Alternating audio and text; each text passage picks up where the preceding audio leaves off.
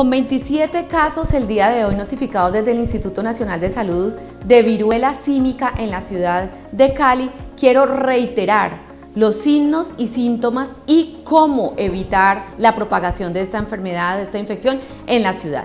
Los signos, fiebre, dolor de cabeza, malestar general y un brote que puede iniciar en la cara, en las extremidades superiores, palmas de las manos o plantas de los pies o en la zona pélvica. Por favor, cuando se tengan estos signos o síntomas, consultar a la institución de salud que le corresponda.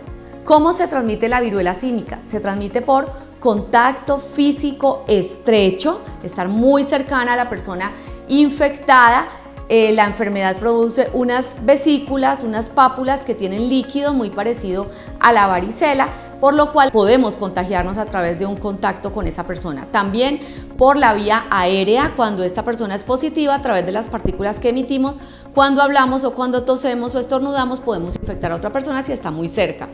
Y por vía sexual. Quiero reiterar que no es necesaria la penetración o el contacto sexual eh, hombre-mujer, penetración o vía genital para el, contagio. Simplemente el contacto físico que da una relación sexual hace que el riesgo y que podamos contagiarnos eh, de este virus. Por lo cual, reitero, debemos de cuidarnos evitando el contacto físico con personas positivas y con una vida sexual responsable. Una vida sexual que obviamente evitar en, esta, en estos tiempos relaciones esporádicas, espontáneas o experimentar. Estamos en una fase de contención de la viruela símica en la ciudad de Cali y debemos de cuidarnos, protegernos y cuidar a los demás.